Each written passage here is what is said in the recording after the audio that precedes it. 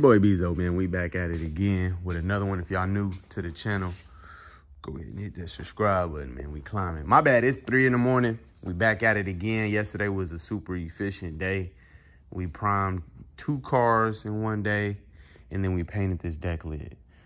And it came out great. As y'all knew, as y'all remembered, we did the jams, then we did the outside of the car. Then I had to do the top of the hood and then the top of the deck lid.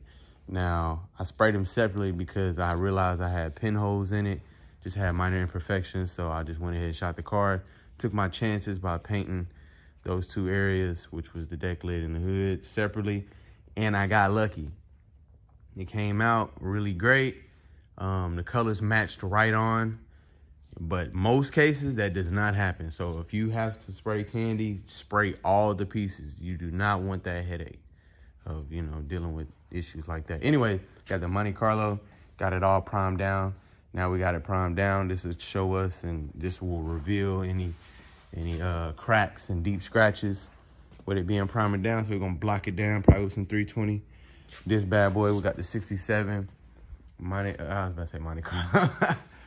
Damn the disrespect. We got the 67 Mustang. This bad boy has been primed down now. Reason you prime it is one, it, it, it prevents the rust. Two, um, it gives you room to work with when you when it has like minor imperfections. So um, you're just building layer. You're building pretty much layers to cover up certain imperfections, and so you can smooth it out. And it will reveal um, any low spots or high spots like this right here. Like, so now that the car came in, we can see, we can see the dents. There we go. See all those dents? So when I block it, it's, it's easy to find, it's easy to deal with. I'm like, okay, cool. Um, now I went ahead and primed this one because I was already priming that one. So now I'm like, I'm aware, okay, bet, bet, bet. You can call it wasting primer, but me, I already know where all my dents are. So I'm just gonna block the whole thing and just glaze the top. Now, some of them I can pull out, but some of them are very minor. So you might as well just wipe the whole thing. Trunk, probably have to do the same thing. It's not as bad as the hood, but anyways, yes, got it all primed, got that primed, but we're focusing on the 67 Mustang. This is going candy blue with some white pearl stripes. We got to bust this in and out. Um, there's some minor imperfect. This this car, I was going to say, and it's crazy because now I got to let him know. But when he dropped his car off, he was asking me like, man, out of all the old schools pretty much that he had, is this the best one? Absolutely. This was the best one that I've had. Any old school that, well, yeah, yeah, I, that I can think of. Now, if you dropped your car off and you had an old school and it was in flawless condition, my bad, because I can't remember. But about just just off the off the dome, this was definitely the best car that I've had, the best conditioned old school car, especially for this year, um, that I've had dropped off, and I had to do hardly any body work. There's just a ton of minor imperfections. Um, it was a lot of paint chipping areas, which was in the jams. Really, just the jams, the the the back area and the trunk, and then the two car, the you know the jams the, for the doors. That's it. That's what we're working on right now. Now they're pretty rough though. That's the thing. They're and then right here. So minor minor imperfections. I'm talking like this, like little cracks. We got another crack. We got this right here. We got a lot of paint chipping and peeling and stuff like that. We had to hand sand all in there. So it's just these areas, these pocket areas, and then a few areas like this. I'm gonna try and clean that up.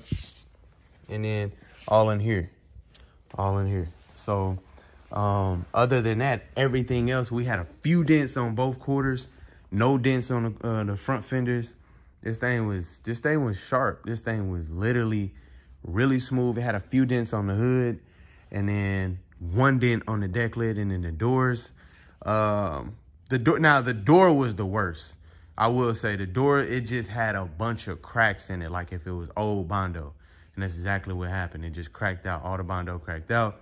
So, um, for the most part, man, this car just was pretty much A1. It wasn't, it wasn't, probably, it could probably um, use another day of just going over imperfection and this thing is ready to seal. Well, we're gonna just go ahead and paint it. Probably, probably prime the jams one more time. And then the rest, everything else, we're just 600 and paint it. So, Um, now, since we talking about the old school, there's a major difference between an old school car and a new, new old, newer car. Um, old school cars, man, you definitely got to take your time because they're old. You got cracks, you got minor dents, you got more rust, you know what I'm saying, versus a newer car. If you, you know, if I get this one and paint it, then I ain't really got to worry nowhere near as much as what I would have to worry about. Here, there's a major difference. It's ages, you know? So you never know what's under that underneath that paint. And I'm not too sure. I could be wrong, but I think I don't even think he knew that, that this car had got you know beat up before. It was it was in rough condition, but whoever whoever previously painted it, they did you know they did a really good job on bodywork and stuff like that. But I've seen a lot of reds and yellows and blues and and that's indicating that there was either bodywork in that specific area or um, it had been primed and sealed and it definitely got painted before for sure.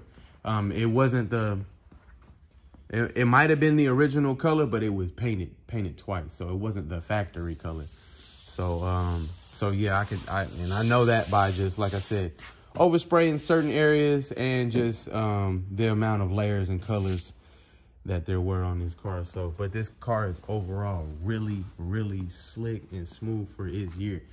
But this one just took the place. This one got dropped off for a clear coat. This is the this is flawless now. Like this ain't got a I don't see a dent, a ding, a scratch, or anything like that. I'm literally just gonna go ahead and re-clear it. So uh and we'll add some pearl to the clear coat. This thing is magnet this thing is sharp. This is sharp. This is yeah, I hate to I hate to say it, my guy, but this one now this one is like this is perfect. Like ain't gotta I ain't gotta do no dents, no deep scratches. I'm literally scuffing up the clear coat and then just reshooting the clear. So I guess, I guess in a sense that's still on the chart because I, this is, but this is technically like a full complete though. I don't know. I don't know. So these two, this, this would have to come in first place. This would have to come in second place as far as just the amount of body work that I have to do because I have to do absolutely no body work. This thing smooth. I had to, I pulled it in here yeah, I hit the bump. I hit a bump up there and it just bounced all the way in here. This thing, I see why people have old school. I see. This thing is nad. This is my, my favorite, man. I ain't gonna lie. Like, sharp, my guy. Oh, my goodness. Yeah. Whew. So we're gonna put like a little red. I think the pearl actually kind of matches the rag top. No, the stripe. So it's got like a maroon reddish look to it. We're not gonna go heavy. We're not gonna go crazy with it. We don't want to overdo it because look at, I mean, the, the, originality. I think he got some wheels for it. So bro is doing his thing, and it, this is actually the owner of the um candy candy brandy wine Tahoe that I did. So definitely clutch for coming back. Definitely gotta appreciate my guy. Um, so yeah, man, this is a lot. This, we got we got we got some motion now. My brother, my cousins, they've been in and out helping me. They're not. I, am the only one full time here. I'm not looking for any employees just just because of finances and stuff like that. I gotta I gotta make sure the fort down. You know, the fort is is is good financially and stuff like that before I can even get anybody full time. But I really trying to get my brother. He was the one that was doing a lot of the body work on here, and my cousin was taking care of some engine based stuff on both cars. Um, they're in and out when they can, like on the weekends or early in the morning before they go to work. So your boy just trying to do his thing. Um, but for the most part, everything is going smooth. Um, we really, we definitely not, we don't have to take any cars anymore because, you know, finding, you know, just rent paid, OG&E paid, water bill paid, got a little extra pocket money for some supplies. So we're not really in a rush to take no more cars. We're going to get all these cars out. Um, and then uh, this, this, when you see a lot of cars, this ensures that, okay, all right, bills is paid. So that's what we that's what we working on. So for the most part, man, everything going smooth. Now I do want to kind of, like I said, get on the get on the topic of taking the old school because I get a lot of people that are asked like, "Hey, man, when you did," just a lot of questions when it comes to newer cars and older cars and stuff like that. Well, with an older car, you gotta be damn near mentally prepared before you take an old school. And um, yeah, you really want to just take your time on it as well. Um, because like I said, when when you start getting that pressure of being rushed, you're just gonna want to skip over shit. Every car that's ever been sent out, I want to say, And it's not it's not strictly because of the customer. It's either the customer or my financial situation. So you have to be really you have to think strategically before you even take an old school car. Like, how is your financial situation, or how is your, you know, overall situation in general? Um, because it, it, it, does take time. You might block a whole fender down and then come in the next day, and and it's like you didn't even block it down. It's almost wavy again. I've done that. I was dealing with that with the with the um the Donk, the 74 Caprice. Like I'd do some areas on the on the hood and then the fenders and then I'm like, hell yeah, that shit feels smooth. Okay, cool. And then you come in the next day, and then you just like, man, I can't, I can't believe I got that, that fender smooth. And you're like, the fuck is that? What? What? Oh no! Like who came in here tampering with stuff? And then you gotta ask yourself, like, was I drinking yesterday or was I? What was that? So yeah, it's just like definitely, definitely gotta be focused on it. It's time consuming. So you almost gotta the shop has to kind of afford to take a old school. So um, this is just the fun part for me. I'm learning all of this. So definitely before you take a old school you gotta ask yourself do you have the finances? Yes you're supposed to get paid for it and stuff like that but you never know.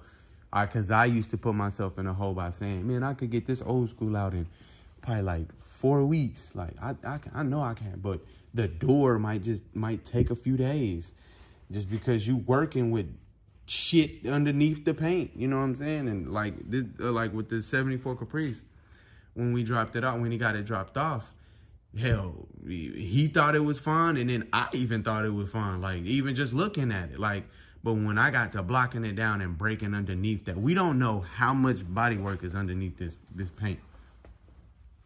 we don't because when this got dropped off, it damn near looked flawless. I almost asked him why do you want to get it painted, but when I, you know, sanded it down, blocked it down, actually observed the car. Observing the car is like looking for stuff like this, like little minor gashes, cleaning all of this up. This car does not have that. You see, it's clean, uh, well, a little bit, but clean, it's no paint chips or anything like that. I did not. I wasn't the one that painted this, but whoever laid it down laid it down really good. I man, this this is deep. They had to put like five or six coats of this purple on here. So, um, but anyways, um, for the most part, before you take an old school, you gotta ask yourself: Do you have the time, the patience? I'm talking like folding up the sandpaper and cleaning all of this up, and then getting it deep in them grooves and back in here and all of that versus, you know, a newer car, you just taking a DA and you just buzzing over that one time. You're not necessarily focusing on these cracks. Man, I'm going to show you some pictures of how this was before we started sanding on it after the primer. But, um, yeah. Anyway, so even with this primer down, we're going to block this. We'll block We'll block. This doesn't need to be blocked. What we'll do is just buzz over it with some 600 grit, this, these quarters and fenders, and then the roof. Um, and then we'll hand sand up in there with like some 180 or some 320, get those deep scratches out. So um, for the most part, man, this is what we're gonna be doing today. We're gonna roll all these cars out, and then um, I pretty much just gotta go down the line. Now, honestly, out of all of out of everything here, this will be the easiest one. Um, and then on this one with the 30s, we'll have to, uh, so I sprayed the gold, as y'all can see. All of this was chrome at first, but I sprayed the gold. The only thing left is the wheels. We have to spray the gold on the wheels. Um, did the back back lights. So yeah, man. Um, spray the gold, and then we're good. I gotta find some taller jack stands. I don't even think my jack gonna be able to lift this thing up. So, um, every day something's getting worked on. Every day um, there's a change, there's a major difference. Um, I just got to move strategically um, for my customers, making sure my customers are happy, making sure they get their cars back on a, um, a reasonable time, on top of uh, making sure my financial situation is uh, straight. Now that's not that's not anyone else's problem, but I don't mind voicing my opinion and voicing some of the things that I go through so you guys can avoid them, uh, the mistakes that I made. Uh, just as far as even running a body shop. Got to make sure your shop is running because if you ain't paying rent and they kick you out, then what? now they getting their cars back like this. like, and that ain't gonna happen. So, um, yeah, man, for the most part, man, we having fun with it. I think my cousin just pulled up, so it's time to get to work. It's three in the morning. We're gonna continue to do our thing. Um, feel free to drop any questions, comments, or anything like that. But uh, I will pick back up later on today. And then, um, yeah, man, I'll show y'all some results. Y'all will be able to see the colors of each car before they leave. I'll probably either drop some pictures on my Instagram and stuff like that, or um, do like little snippets trying to maintain the, you know, dropping the videos every other day without over stimulating myself. So, um, overworking myself. So, y'all hit that subscribe button, man. we going to get up on out of here. I'll make sure y'all get an idea what this look like when it's all gold, man. We out of here. Appreciate it.